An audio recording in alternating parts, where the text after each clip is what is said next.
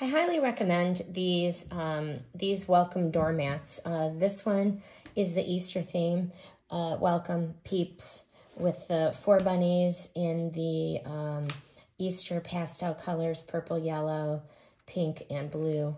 Um, these, um, the colors and the wording are printed on the rug, so it's not going to scratch off. Um, I've had these welcome mats in different varieties for different holidays, holiday campaigns, and I've never had a problem with them.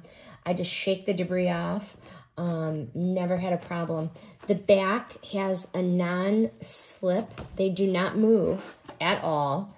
Um, the non-slip long-lasting thick material on the back. Um, they're water resistant and scratch resistant. And they are very, very easy to clean. You just shake it off and, and you're good to go. But the thing that is really why I like these, they're so thick. I put them in my uh, front entryway, in front of my front door. They definitely um, go great with all of my other Easter and spring decor. Um, never had any problems with these, and I highly do recommend them.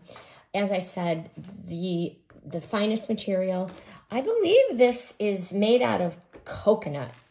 That the back is made out of coconut. That is what um, that is what the product information says. But they measure 16 by 24, and I highly recommend um, this Easter welcome doormat.